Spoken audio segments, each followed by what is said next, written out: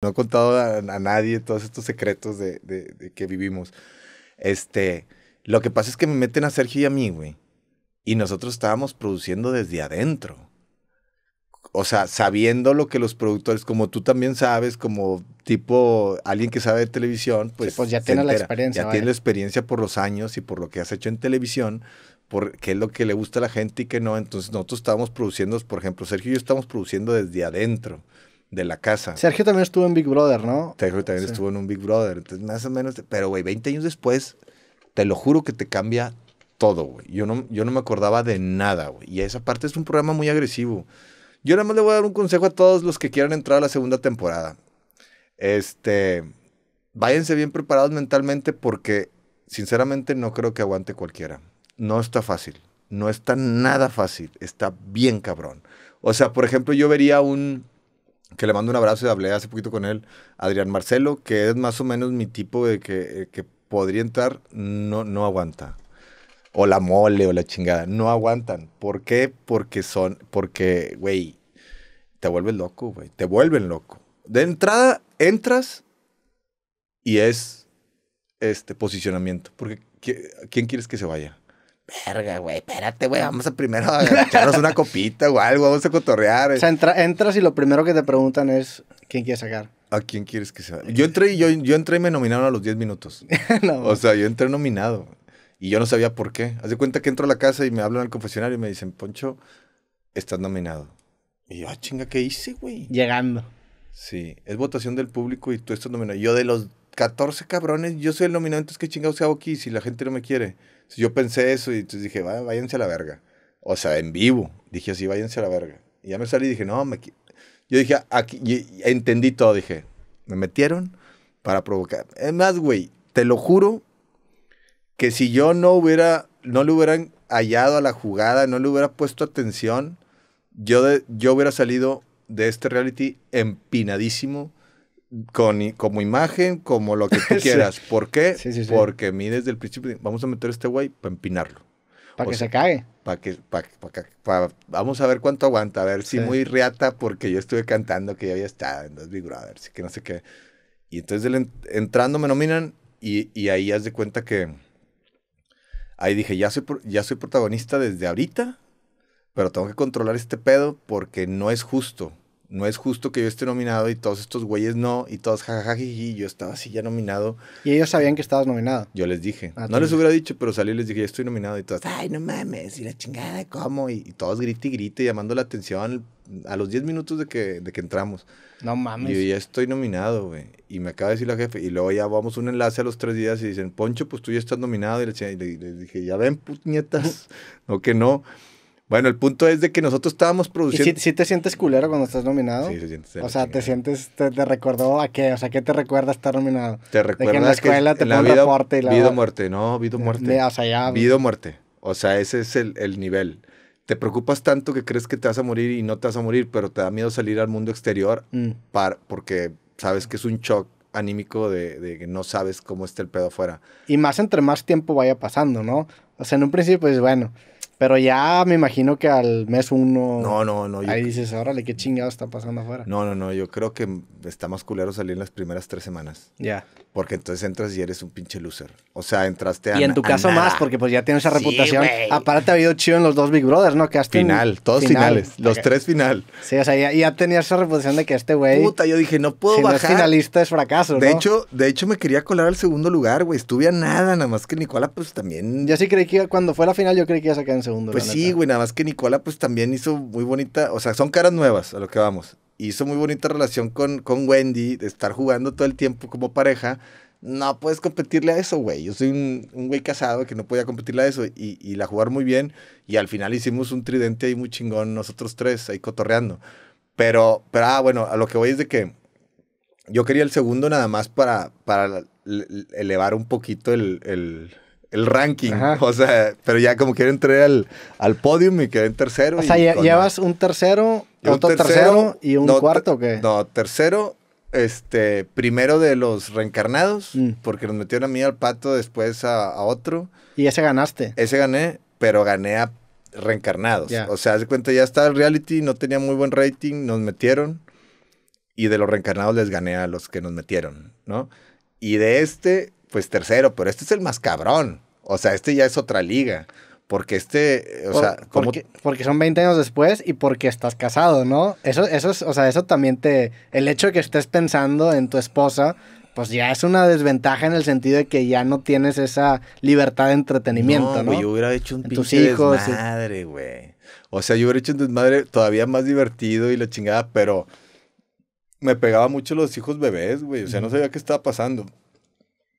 Y sabía que pues, estaban bien protegidos con mi esposa, pero pasaron muchas cosas. O sea, yo salí y vi a mi esposa, por ejemplo, diferente. La vi muy cambiada. La vi con cabello nuevo y la chingada. Dije, verga, qué pedo, güey. Todo lo que ha pasado acá. Yo no sabía que afuera se hacían las peleas con los otros participantes y la chingada. Y mi esposa le entró al quite afuera también. Sí. Yo le dije, tú jala afuera, yo jalo adentro. Pero me saqué de onda por algunas cosas, normal, porque tú de afuera, tú de adentro lo percibes de una manera, porque si lo ves como debido a muerte, y de afuera lo ven como cotorreo. Y tú adentro te estás llevando la chingada y estás sufriendo y estás, estás empinado, o sea, anímicamente estás en una batalla que estás... eh, ¿Cómo te puedo explicar? Pues estás, este, como están jugando con tus emociones todo el tiempo, pues tú tienes que ir identificando por dónde le vas a dar y por dónde no. Y hasta por eso creo que, que ahorita me estoy aburriendo, Sí. como que me afloja- aflojaron mi cerebro y, y lo soltaron y dijeron, eh, ahora ya. Apa- aparte no tienes con qué distraerte adentro, o sea, todo lo que está pasando es lo que está pasando, no Eso es de que, no, pues le hablamos a alguien y, y deja agarrar el pedo con tal, no, güey, todo lo que está pasando en la casa es todo lo que está pasando en tu vida en ese momento. co- como era antes la vida, Sí, güey. como era, Como era antes, antes la se vida, sentía más la vida, güey. Se sentía más la vida, el tiempo, los, días duran un chingo cuando estás así. No te dejaban jugar ni con una pelota. Te dejaban una pelota y, eh, danos la pelota para que no te distraigas. Tienes que estar en la plática, en el aquí, en el ahora, en el estar en la convivencia. Pero a lo que voy es de que, bueno, nos meten a Sergio y a mí y empezamos a producir de adentro. Y eso les, le funcionó a la producción. ¿Cómo, ¿Cómo es producir de adentro? Pues producir, de, eh, por ejemplo, este, crear el Team Infierno, por ejemplo, las estrategias de que el regalo va a salir por allá, este, ¿por qué? Porque la producción quiere balancear este pedo y lo sabes, entonces te pones más vivo para, por eso, o, o Pero decirle, te "Eh, refieres no nos a, cierres". o sea, tú te lo anticipabas. o- Anticipabas. Ah, o sea, tú te anticipabas que eso estaba pasando, te dabas cuenta Sí. de lo que el güey, el productor estaba pensando, pues porque ya tienes la experiencia, ¿no? Porque pues en algún momento tuvimos programas y todo y sabes que el productor, ¿qué le conviene al productor? Hacer pedo para que la gente afuera haga coraje y otros se pongan contentos y todo. Entonces el productor quiere causar emociones en las personas, pero cabronas. Si ya estaban pasando cosas, yo sí llegaba a pensar, pues si nos está yendo con madre con el Team Infierno, ¿por qué el productor no quiere? O sea, un ejemplo, ¿no? No sé si, si pero la verdad, este, los productores son unos chingones, unos, unos argentinos. ¿Por qué no quieren que llegue el Team Infierno juntos? ¿Por qué nos quieren poner una traba? Y es para causar problema ahí. Pero entonces nosotros empezamos a mover, a operar desde adentro y nos fuimos adelantando un poquito. Si hemos sido novatos, si yo no he tenido experiencia, la Barbie hubiera estado en la final. Si yo no tuviera experiencia, este, hubieran pasado cosas que, que no hubiéramos hecho, que hubiéramos competido por nosotros mismos. O sea, haz de cuenta que no por el equipo. Entonces se formó el equipo, la unión es de la fuerza, y trabajamos en equipo y no nos traicionamos y todo. Entonces eso fue como el legado de los códigos de honor y de los hombres y la palabra y, y, y no traicionar. Y eso, pa, todos los días, está, está, está metiéndoselo a la raza para que no, porque muchos se desviaban. Emilio Osorio y Halcón, hubo un tiempo que se estaba desviando con Sofía y con Fer, que ya se andaba yendo, y yo le decía, verga, güey, si nos desintegramos, vamos a ser más débiles, necesitamos mantener el grupo unido, el grupo unido. Entonces, eso, eso yo creo que fue la estrategia más chingona, y, y creo yo que ya no va a volver a pasar. Ya no los van a dejar. No, sí los van a dejar, pero ya no va a volver a pasar. Está bien difícil no, Sí, no también está bien. traicionarte y hacer un grupo de que sean todos El, leales. el cuarto, ¿cómo se escogía en principio? Te, ibas- te decían, este, corran al cuarto, pero entonces Pero, o sea, todos, ¿cómo, o sea, todos fueron, fue suerte que terminaran juntos o era escoja tu cama. Esa es otra polémica que se hizo que creen que nosotros nos habíamos puesto de acuerdo afuera antes de entrar. Yo había hablado con Sergio Mayer. Sí, si Sergio Mayer y hubieran estado en cuartos distintos, se hubiera hecho un Nah, desmadre. nos hubieran agarrado a putazos. Ya lo quería agarrar putazos eh, este, al Pero, final. pero güey. porque los dos hubieran hecho, pues, una su estrategia. equipo. Hubiera estado chido. Sí. Hubiera estado chido. Como quiera, como quiera, o sea, Sergio a toda madre, este, me dio mucho gusto que al final, antes de, de salir cuando estábamos los cuatro en la gran final, Me dijo, no, chingón, Poncho, todo lo que hiciste. Porque habíamos tenido una discu- discusión este, en la última semana. Que pues él como que quería sacar algo y, me quiso empinar de alguna manera. Por el juego, no por nada personal y para ponerle emoción, pero tú me traicionaste hace 20 años y me volviste a traicionar ahora y la chingada. Yo me sentí, dije, verga, güey. Este cabrón me la está aplicando ahorita, güey. Somos compas, güey. Se sentía bien gacho. Y yo dije, está jugando. Y sabías exactamente lo que estaba haciendo. Y lo veías en los ojos y es de Lo que. hijo le de decía, puta. hijo de puta, si estuviera fuera, Sí. te hubiera dado un cachetadón, cabrón. O sea, de que sé lo que estás haciendo y sé lo que estás tratando de mover, pero es un arma de dos filos eso. Y es un riesgo muy grande si lo haces. Entonces yo discutí de una manera que no me ganché y pues le gané la, la pelea esa que era una pelea, la neta yo creo que perdió la cabeza por el tiempo porque ya no, ya no tenía juego, ya no tenía con quién hacer juego de, de eso y como yo estaba nominado, pues él quería entrar al protagonismo ahí también y le dije, bienvenido al protagonismo, órale güey, si quieres subirte, pues órale, vamos, vamos, vamos a darle y... Y empezó a discutir cosas así, pero sí, yo ya sabía, lo veía a los ojos dije, hijo de su pinche madre, güey. Y dije, porque me decía, perro no come perro, no me acuerdo qué frase me decía, yo le decía, sí, Sí. pues por eso, o sea, es lo que estás haciendo. Y yo sé exactamente lo que estás haciendo y yo estoy nominado ahorita, hijo de tu pinche madre, ahorita me pueden sacar y me quieres empinar porque sabes que te voy a ganar. ¿Ahí cuántos Porque quedaban? saben- ¿Cinco? Quedábamos cinco. Cinco. Y, y que pasaban cuatro a la final. Pasamos cuatro. ¿Y él también estaba nominado ahí o no? Él no estaba nominado, ahí estaba yo y me quería empinar, entonces dije, "Y- Estabas tú y quién más riesgo". estaba. La Barbie. Estaba yo, la Barbie y Wendy. Mm. Y este. Y la Barbie, pues dice: Pues esta Barbie, ¿qué? ¿Qué? ¿Tú qué? ¿Sabes que es comodín, cabrón? Y, y yo quería salir nominado. O sea, era su discusión. Yo le dije: ¿Y yo qué culpa tengo, güey? Si no saliste nominado, hubieras hecho tu jale, güey. Yo hice mi jale. Yo fui con todos y les dije: Nomínenme, porque también, para los que vayan a entrar después, ahí les va un tip: estar nominado, si te, llega, te vas salvando, te haces más fuerte Sí. Estás en la conversación, ¿no? estás en- eres protagónico de la semana. Si no sales de la jugada, yo estuve dos semanas que no estuve nominado y me sentía bien aburrido, güey. Yo dije, ¿qué pedo? Y aparte el rush emocional que te da, güey, que te salve la gente. O y- sea, tú preferirías estar nominado sí, la- en la yo semana. prefería estar nominado. Al principio me imagino que no, pero ya cuando vas agarrando Ajá. confianza dices, güey. Yo soy nominado la segunda semana. Ah, no, la primera y la segunda. Y luego la tercera, la cuarta ya no, y luego la quinta, y luego la sexta no, y luego ya me iba una y una, para descansarle también, porque, porque si no, también este, es mucho desgaste emocional, güey. Sí. Pero no, estu- estuvo muy interesante. Pero todas esas estrategias que te digo, de nosotros que ya más o menos sabíamos de entretenimiento, se hicieron pensando en el grupo y no en algo personal. O sea, yo ya, yo quería, yo ya, ya sabía que iba a ganar Wendy. A lo mejor sí podía haber pensado en un segundo lugar, pero ya al final ya no tenía juego yo tampoco. O sea, ya con quién jugaba. Ya quedamos nosotros cuatro, con Sergio ya no jugaba. Desde la discusión ya no le di juego a Sergio. O sea, y es mi compa y eh, mañana lo voy a ver. Ya no le di Lo juego. vas a ver mañana. Sí, pero es mi compa, pero sí nos vemos porque es mi compa y, y- y- y tenemos mucho, muchas cosas en común de toda la vida, desde solo para mujeres y la chingada, pero ya no le di juego a Sergio. Ah, estaban, ahí- estaban ahí- los dos en solo para mujeres. Sí, pues era Sí, sí. concepto, sí. Él me, me invitó a jalar ahí con él en solo para mujeres.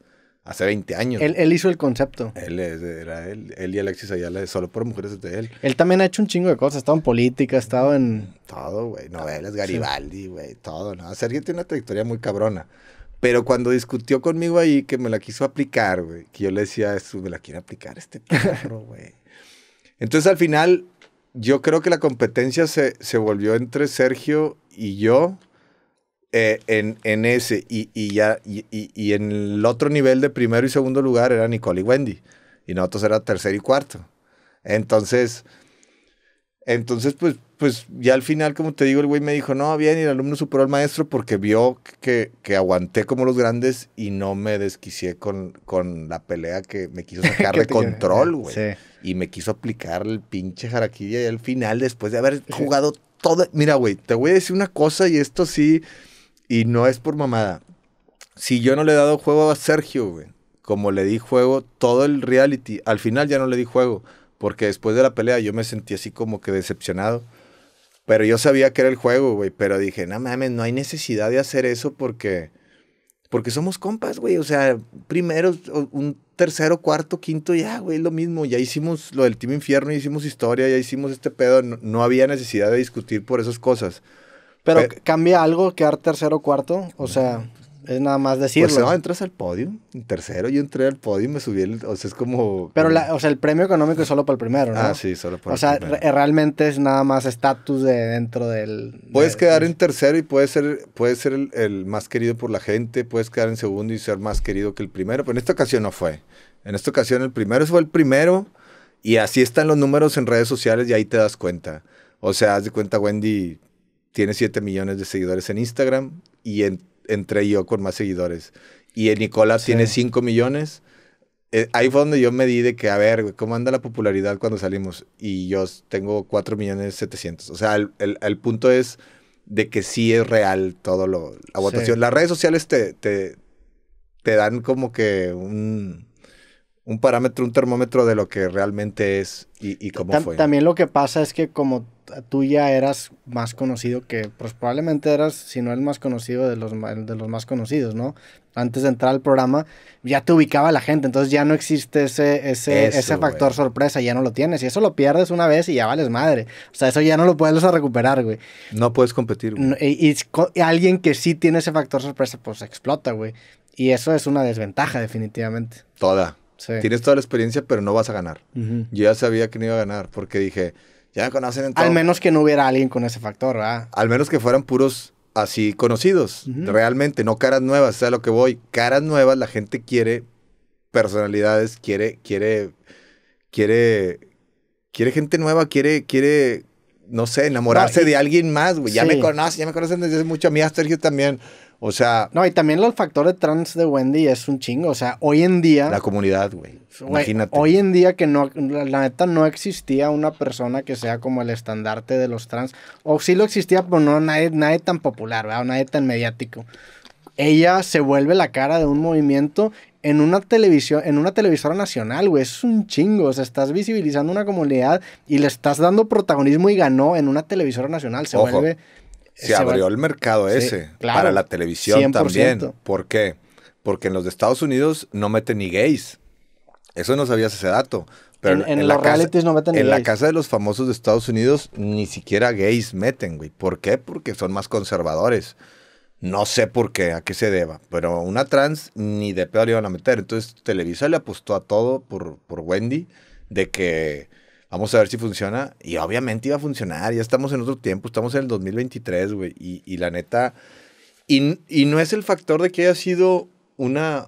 La primera trans que está en un reality de estos. Es que tiene el carisma, sea, Sí, es güey, carisma. porque hubieran metido a las amigas, no- las otras, y y no, funcionaba. Güey. es el carisma con sus circunstancias, o sea, es el- las dos, suerte, pero también talento, güey. Sí, está cabrón. Necesitas esa, esa combinación y si las tienes las dos y aparte agregarle el factor sorpresa, se vuelve una mamada. Yo creo que el carisma es lo que, lo, lo, lo, lo- o sea, que trasciendas de la pantalla a- al público directamente y que y conectes, eso es lo más importante para un reality de estos, para las personalidades, porque había raza muy famosa, pero no, no les creías. O sea, Sí, pero también lo, lo cabrón es que es un carisma como que no intencionado, o sea, lo hace naturalmente. O sea, en tu caso, tienes ese carisma, pero este acercamiento fue bien metódico y bien de producción y sabías exactamente lo que estabas haciendo y lo que estaba pasando.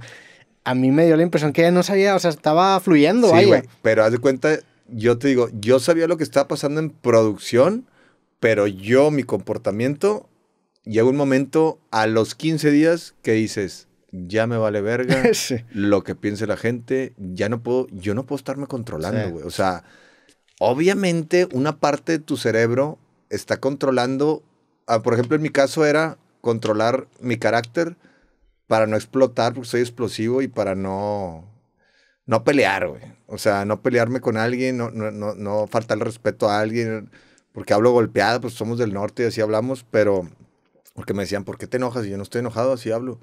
A veces, güey.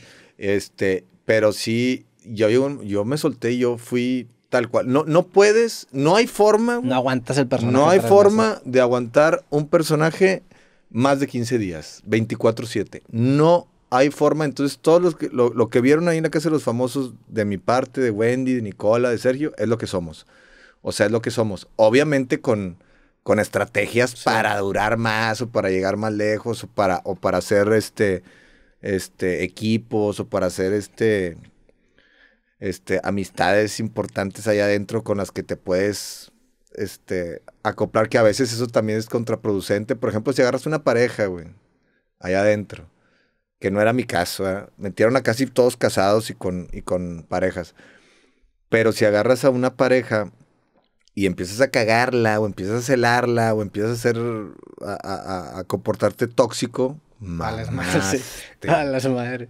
Mamaste grande, entonces lleva un riesgo el, el también, la, la, la, que no fue en este caso de, de esta casa de los famosos, ese fue el éxito, güey, que no hubo nada de amor. Fue pura pinche madriada y puro cotorreo y pura carrilla. Y yo decía que sin carrilla no hay pandilla. Y fue puro pinche desmadre con la pandilla del Team Infierno. Y todos los demás, no, nosotros no nos damos cuenta que ni siquiera, o sea, tenían la oportunidad de competir contra nosotros. Un Paul Stanley, el, el Albacete, el, los del cielo. Ya cuando se formó el Team Infierno, que sacamos a, a Marie Claire y a Sofía y luego a Ferca seguidas, esas tres mujeres que son las que te digo que están más con de carácter fuerte, así como líderes.